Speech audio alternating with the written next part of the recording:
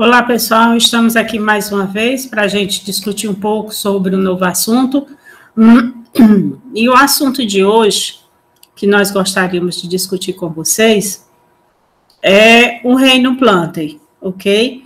Então, a gente vai tratar deste novo assunto. Nós tivemos aí dois espaçamentos entre os momentos de interação, mas no próximo momento de interação, eu espero a gente estar discutindo um pouquinho sobre doenças causadas por protozoários e um pouco sobre algas, né? A gente fala um pouquinho sobre esses dois assuntos no nosso momento de interação.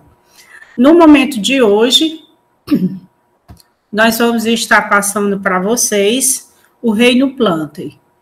Marilza, uh, com relação ao reino Plantae, por que é importante nós sabermos um pouco sobre esses organismos, né? Então, a primeira grande coisa a se fazer em termos de novos organismos que nós estamos estudando é aprender características gerais desses grupamentos. Então, é, com relação aos vegetais, o que a gente pode, e a gente, desde que estava né, no ensino fundamental, a gente ouviu falar dos processos que são feitos, que eles são autossuficientes, em se tratando de produção e manutenção corpórea. Então, como são, né? Quais as características gerais? Quais as funções, né? Por que, que é tão importante para a nossa espécie preservar os vegetais existentes. Então, vamos lá. Os organismos do reino plantas são multicelulares, quer dizer, compostos de centenas de células, né? centenas de milhares de células, dependendo do tipo de organismo que nós estejamos estudando. E as células são eucarióticas, ou seja, o núcleo está contido por uma membrana né, chamada carioteca, uma das características principais, fora o fato de ter organelas especializadas, dentre outros, outras características. Produzem seu próprio alimento, então são denominados de autótrofos, né? No caso, auto próprio, trofos, alimentos, aqueles organismos que conseguem produzir, certo? Dentre os grupamentos que nós podemos citar, a gente sempre cita o grupamento das algas, né? O grupamento é, das plantas, majoritariamente, através aí de um processo, mantém sua questão de produção de alimento através de um processo denominado fotossíntese, que também vocês já ouviram falar muito desde o ensino fundamental, ok? Professora, por que é importante preservarmos vegetais? Porque eles são a base das cadeias tróficas é, existentes no ambiente.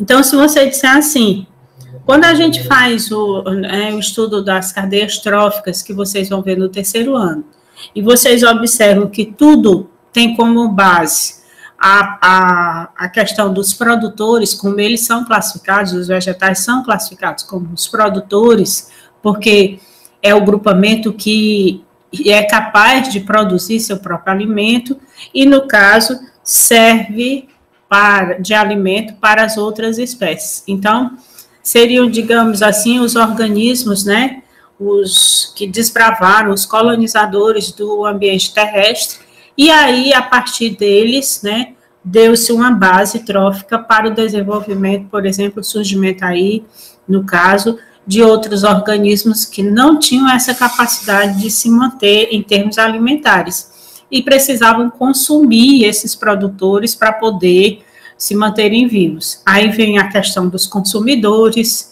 e tem o consumidor primário, que se alimenta diretamente dos produtores, que seriam os vegetais, os secundários, que se alimentariam dos consumidores primários, os terciários e quaternários, por sua vez, seriam né, aqueles é, classificados como os carnívoros de ponta, né, principalmente os classificados nos consumidores quaternários.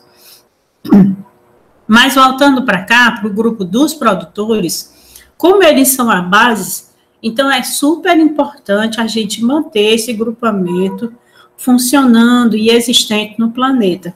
E não só através da agricultura, mas preservando né, as florestas, porque a partir delas nós vamos ter aí a questão da preservação também das fontes de água, e a gente já aprendeu isso, e alguns produtores, alguns fazendeiros da região de Minas Gerais, dentro de suas fazendas, eles estão preservando mata nativa ao redor de fontes de água que foram descobertas naquelas propriedades e que eles viram que quando não se preservou a floresta virgem ao redor daquela fonte, a fonte secou.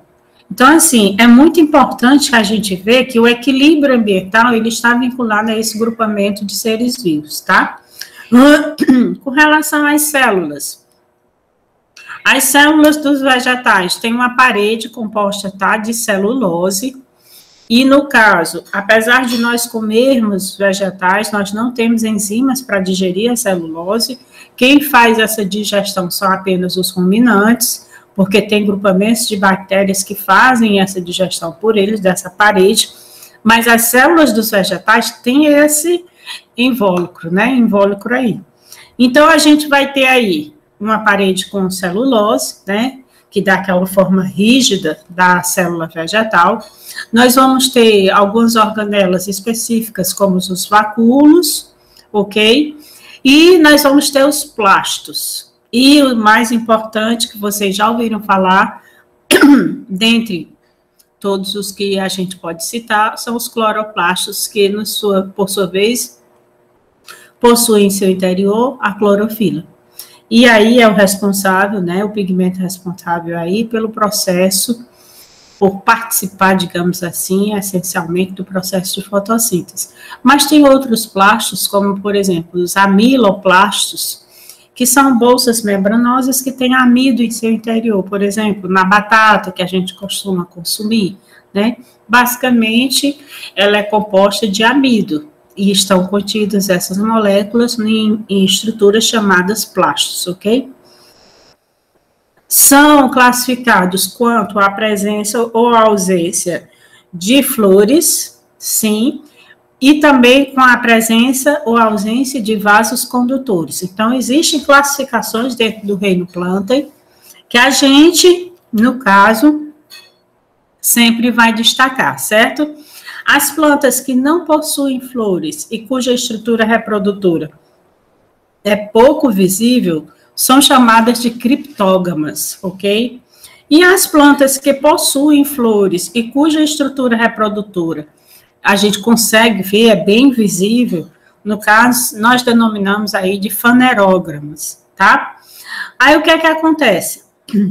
Tem aqueles grupamentos de plantas que desenvolveram estruturas em, no interior do caule, né, que, é, digamos assim, são responsáveis pela distribuição, né, dos líquidos necessários para esse organismo elaborar seus processos, né, para fazer seu próprio alimento.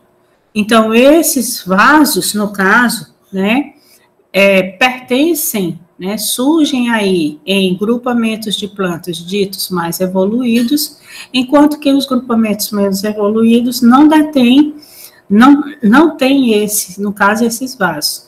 Então, elas foram classificadas também por essa questão de possuir ou não possuir vasos condutores, que no caso seriam aquelas que não possuem, chamadas de avasculares, e as que, aquelas que possuem seriam vasculares, também conhecidas como traqueófitas.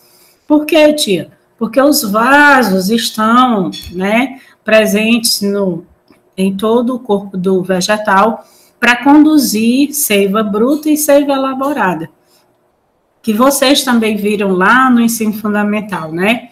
O xilema e o floema. Então, nós vamos estar aí trabalhando com esses grupamentos, são características específicas. Então, quanto mais evoluído o grupamento da, dos vegetais, mais características diferenciadas nós vamos vendo. Por exemplo, no grupamento das avasculares, né? Nós não teremos aí vasos condutores, mas durante o período de evolução que houve, né, no caso, essa diferenciação em termos teciduais, e surgiu o grupamento dos vasos, aí nós já vamos ter grupamentos ditos mais evoluídos, de maior porte. Então, nas avasculares, como o processo de distribuição dos líquidos, dos nutrientes, é feito em organismos de pequeno porte, como nas briófitas, então nós não vamos ter aí vasos condutores. E esse, essa distribuição é feita pelo processo de difusão, porque são plantas pequenininhas, tá? Mas, quando a gente trata já do surgimento dos vasos condutores, nós vamos ver que há um aumento no tamanho desses organismos, né? Então, a partir do grupamento de pteridófitas, das samambaias, aí vem as gimnospermas e as angiospermas, nós vamos ter indivíduos cada vez maiores, e isso também diz respeito à questão do surgimento dos vasos condutores, ok? Ah, quando nós tratamos de avasculares, você sempre imagina esses organismos pequenos. Nós vamos ter uma variação de organismos de 5 centímetros, mas na Nova Zelândia a gente consegue ver indivíduos desses grupamentos de até 50 centímetros. Mas sempre nessa questão a gente bate que não possuem vasos condutores, ok? Com relação às plantas vasculares, certo? Aí sim, nós temos aí o grupamento dos portadores de vasos condutores, e aí nós vamos ter uma evolução, certo? Desde as pteridófitas até as angiospermas propriamente dito. Então, a classificação, do modo geral, tá, pode ser feita em relação a alguns parâmetros que a gente já colocou, certo? Então, a gente vê que, professora, para evoluir de, de no caso, briófitas mais simples para pteridófitas, o fator evolutivo que se destacou foi o quê? Surgimento dos vasos condutores. Para pteridófitas, né? E você evolui para o grupamento de gimnospermas, então, qual é o fator evolutivo? O surgimento das sementes. Sementes nuas, que não estão é, cobertas por nenhum invólucro, ok? No caso do, das gimnospermas para angiospermas, o fator evolutivo que sempre se destaca nas, na literatura, do modo geral, que a gente vê, é a questão aí de que essa semente agora está, digamos assim, contida em um invólucro que nós chamamos de frutos, né? Angiospermas, as sementes que estão cobertas por invólucros, tá? específicos. E a gente costuma consumir, né, no caso, essas partes desses vegetais, tá bom? Então, existem né, pequenos parâmetros que nós vamos avaliando junto com a literatura, e você vai ver que cada grupamento vai se tornando mais evoluído em relação ao anterior, devido ao surgimento de alguma estrutura que permite, digamos, uma conquista maior do meio terrestre. Claro, é evidente que nós estamos falando aqui de organismos, tá? Fixos nos substratos, eles não têm a capacidade de, num desastre ambiental, é, sacar o sistema radicular, puxar aqui como uma mulher segura um assado, um vestido, né? Puxar aqui a raiz, ah, vai vir ali um incêndio e sair correndo. Não existe isso. Então, a perda em termos de indivíduos, quando a gente trata de desastres ambientais, né, como queimadas, né, no modo geral, é, pessoas que vão cortar madeira indiscriminadamente, é, ataques de pragas como fungos, né, por exemplo, e outros micro-organismos, então, ou macro-organismos, né, alguns insetos se alimentam e fazem uma devastação, às vezes, em algumas espécies de vegetais. Então, a gente tem que considerar aqui que são mortes, né, é, digamos assim, de muitos indivíduos de uma vez só, pela condição do fato, né, aí que a gente sempre coloca, de termos organismos vivos, eles não gritam, eles não, não se manifestam, tá? Mas são organismos vivos que estão presentes no ambiente e não têm capacidade de se mudar ou de fugir em casos de grandes desastres que venham a acontecer naquele ambiente. Ah, dentre os grupamentos das mais evoluídas, a gente sempre vai destacar as gimnospermas, né, que no caso são possuidoras de sementes juntos com as angiospermas, e apenas o diferencial aí que a gente citou, tá? No grupamento das gimnospermas, nós vamos ter vegetais que não apresentam aí, no caso, flores, certo? Criptógamas e nem frutos, ok? A semente é nua. Por exemplo, ah, nos pinheiros nós temos aí, né, os, é, o pinhão, que é muito utilizado como alimento em algumas regiões aqui mesmo do nosso país, no sudeste, por exemplo, tá? O ginkgo biloba é responsável aí por produzir, né, alguns, é, um remédio, cápsulas que dizem que é muito bom, por exemplo, para o tecido nervoso, né, dos seres humanos. Então, é, nós temos grandes benefícios extraídos do grupamento dos organismos, né, deste reino para a nossa espécie. O nosso problema é que nós estamos consumindo mais organismos vegetais do que eles podem, é, em termos de velocidade, se renovar. Eles poderiam se renovar se o nosso consumo não fosse tão exacerbado sobre esses grupamentos que nós estamos vendo aqui.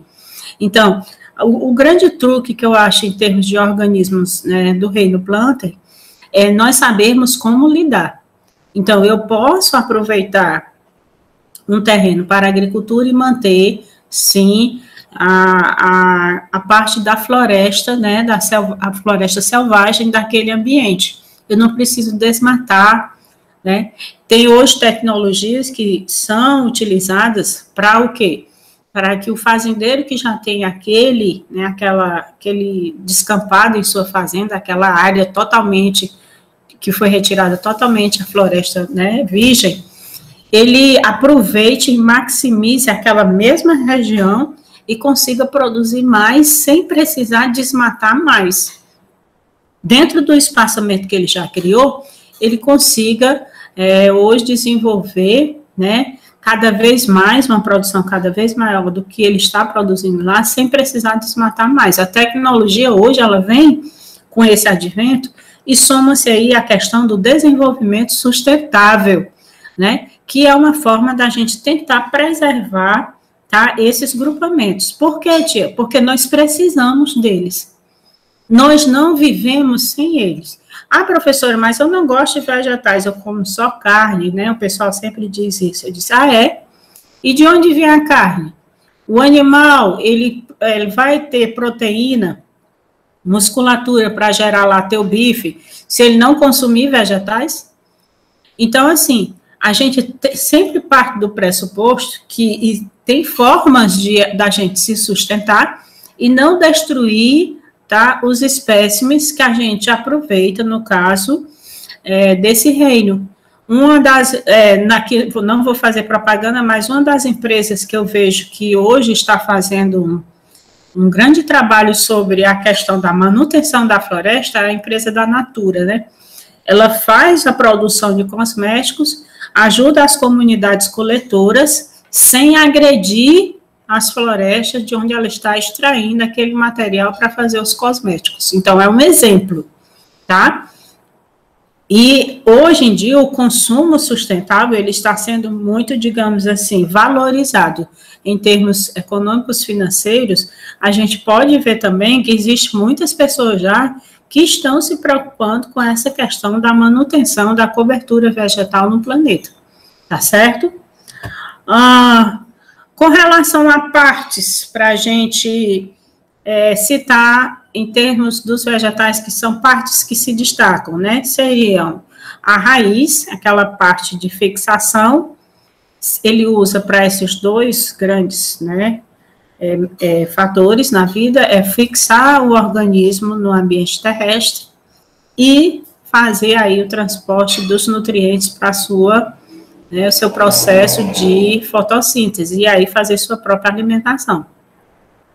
O caule, que seria a sustentação né, do, da parte da folhagem toda, e também serve para o transporte de nutrientes, levando-se em consideração que se o caule for atacado por alguma praga, e você, no caso, essa praga impede no caso, a ida dos nutrientes necessários e da água do solo para a parte da folhagem, provavelmente o vegetal morrerá. Ok? Então tem que entender que é uma via, é como se fosse uma ponte, né? Interligando o sistema radicular com a parte da folhagem da planta. As folhas, função principal aí, fotossíntese, tá? E aí seria, né, majoritariamente onde a planta estaria fazendo o processo fotossintético. Eu digo majoritariamente porque quando o caule é jovem, ele é verdinho, né, ali pode ocorrer também produção, tá? Quando ele ainda não criou aquela casca ao redor, né, no caso de várias camadas de tecido, né, como se fosse uma pele envelhecida, tá? É, em algumas espécies, né, no caso das angiospermas, nós vamos ter aí flores e frutos. As flores são, é, no caso, utilizadas por esses organismos para reprodução. E os frutos seriam, no caso, a proteção das sementes no grupamento das angiospermas, que no caso das gimnospermas não temos, as sementes são nuas. Por isso que é o nome do grupamento, gimnospermas, sementes nuas, né? Então, essa questão aqui seria a estrutura básica dos vegetais, como é a gente está aí em termos de é, conhecimento. Com relação aos ciclos de vida de todos os grupamentos, tá? Desde briófitas até angiospermas, né? Então, eu estou vendo dos grupamentos mais simples, briófitas, para os grupamentos mais complexos de plantas da, do grupamento das angiospermas, tá? O ciclo de vida, certo? Apresenta a chamada alternância de gerações, e aí nós vamos observar que existe uma geração multicelular haploide, tá? E outra geração multicelular diploide, né? É, aquela questão do N, 2N lá com relação a aos gametas e como é, eles transportam essa né, é, condição genética no grupamento das plantas, tá?